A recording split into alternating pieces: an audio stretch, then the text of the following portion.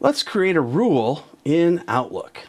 I'm going to right click on any email I'd like and choose rules and choose to create a rule. Now, if I already have any rules in here, I can manage them, which I'll go back to after I create this rule.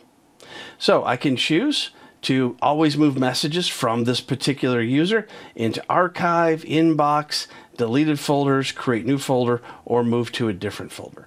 Now that's going to automatically move email from whatever it is that you just right clicked on. Let's say you'd like to go ahead and create a brand new rule that has nothing to do with that particular email.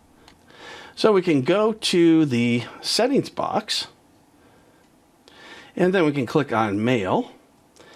So I'll click to add a new rule and I'll just say sensitive keywords and I'll click on select a condition and look at all these different conditions.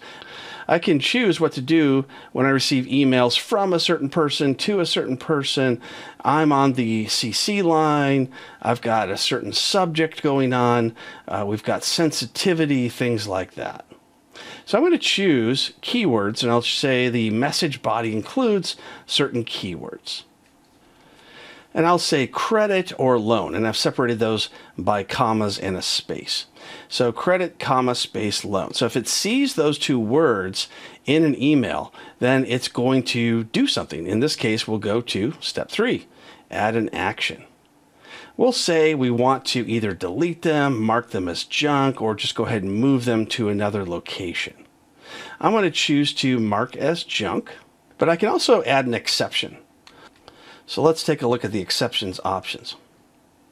So we can see that the exception is going to be from, and I'll say if it's from Al and Al mentions anything about a loan or credit, then we'll go ahead and allow that to go right into the inbox. And then after that, we'll say stop processing any more rules after this rule has been applied. Or we can uncheck that and have it go through the rest of the rules as well.